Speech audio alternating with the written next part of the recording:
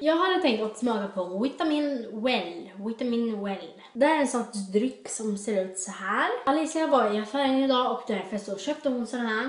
De här kostar cirka 18, 19, nej 17 kronor. Jag har inte testat de här förut och jag är väldigt spänd på att testa de här för att jag tycker de är skitgoda. Eller jag har inte smakat dem men de ser väldigt goda ut. Jag köpte i smak av grapefrukt, röd grapefrukt och ja, den ja, kommer säkert vara väldigt god. Den luktar som sån här vingummi, orangea vingummi. Så nu kör vi igång och testar.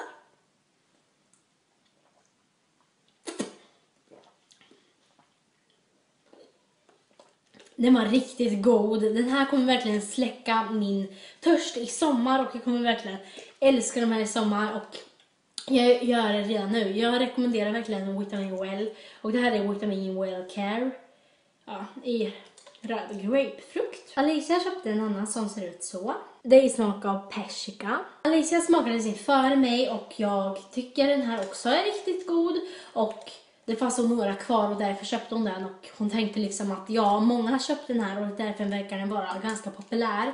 Så den här var också väldigt god, jag smakade den förut. Men jag får tydligen inte smaka nu. Visst tyckte du den här var god? Alltså den, liksom, det var ju många som hade tagit den. Det var, fanns bara en kvar så Ja. det är väl, är väl populärt tror jag. Ja. Men det här var den här videon. Hoppas att ni är nöjda med den här Vitamin Well Caro Antioxidant ehm, äh, videon. Ma? Ma. Hoppas ni är nöjda med videon. Hej då!